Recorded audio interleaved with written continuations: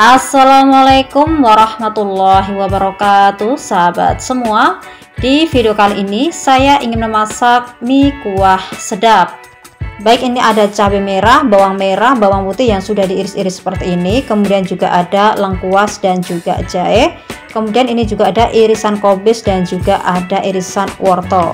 Oke selanjutnya ini juga ada daging sapi yang sudah direbus dan diiris-iris seperti ini dan ini juga ada mie instan beserta bumbunya.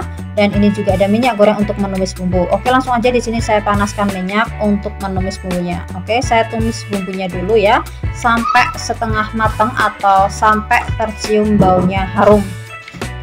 Baik, apabila sudah dirasa setengah matang dan sudah tercium baunya harum, di sini saya tambahkan irisan daging sapi yang sudah direbus ya. Oke, saya ratakan dulu dengan bumbunya seperti ini. Oke selanjutnya saya tambahkan irisan kobis dan juga irisan wortelnya. Oke saya ratakan dulu seperti ini. Baik biar tercampur ya dengan bumbunya. Oke selanjutnya di sini saya akan tuangkan air sesuai dengan selera aja ya. Baik selanjutnya kita tunggu sampai benar-benar mendidih.